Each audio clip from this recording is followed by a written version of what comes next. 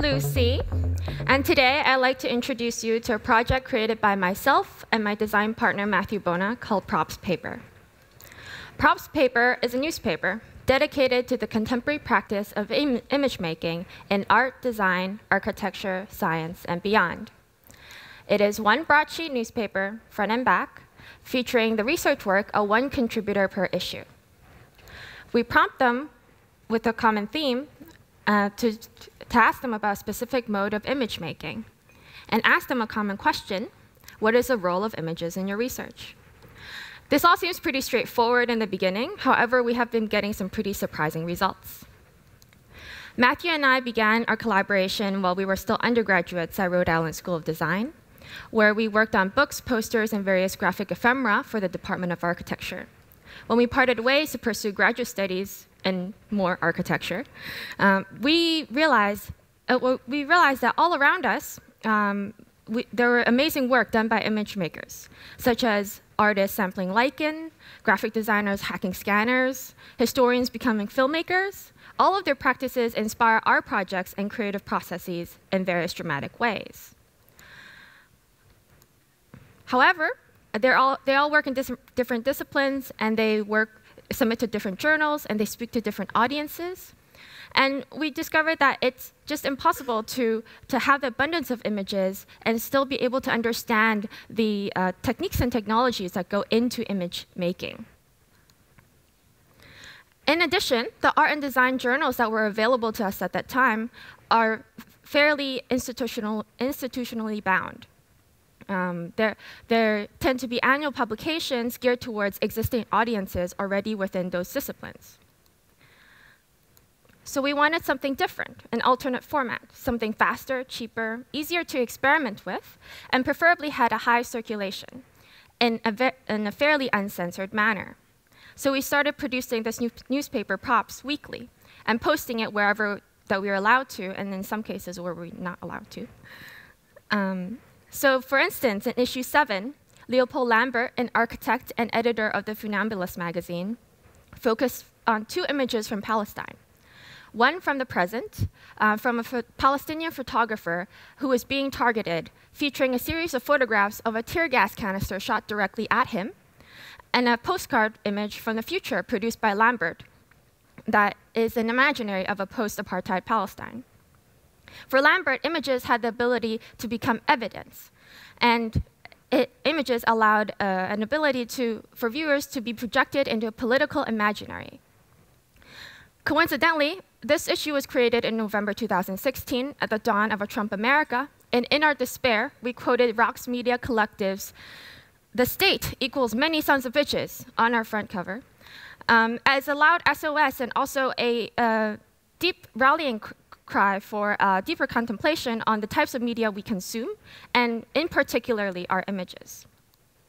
Lydia Kallipoliti, an architect, engineer, and writer, captured the sentiment um, perfectly in the upcoming issue themed on X-ray bodies, in which, uh, quote, she argued, in a perturbed new world of post-truth, images can be powerful tools of battle, and that the design of images as a form of resistance has perhaps acquired civilization value. In our attempt to explore the technical and aesthetic aspects of image making, we have discovered a greater desire within ourselves, and I think it's also true within our contributors, to have an opportunity to address images directly, especially the images that we use, produce, and circulate, and the ways that they affect our lives. Whether they are virtual reality game designers using images as a waypoint to break the fourth wall, or a cosmologist um, generating images using neural networks to uh, calculate the deformations in gravitation gravitational lensing. Or an artist exploring new interfaces through drawing and um, uh, image making by drawing with a robot called Doug. Or a biochemist engineering colorful bacteria to uh, find better treatment for biofilm related diseases. Um, we, we see that as all, all, an opportunity to showcase amazing work that was being done in image research that would otherwise be hidden in, behind screens and labs or in various other disciplinary bound publications. So props paper aspires to be a living cultural archive of how we critically engage images around us, and also engage in a discussion around the images that are not only aesthetically pleasing and that look good, um, that are well designed um, by artists and designers, but also um, specifically and more importantly, the images that scrutinize and challenge our traditional ways of knowing. Um, for instance, here, Elizabeth Porter, an associate professor of law at the University of Washington, um, and also a former clerk at the US Supreme Court. Um, she uh, faced the question of the images head on in a discipline traditionally feel, filled with words, um, especially as a lawyer.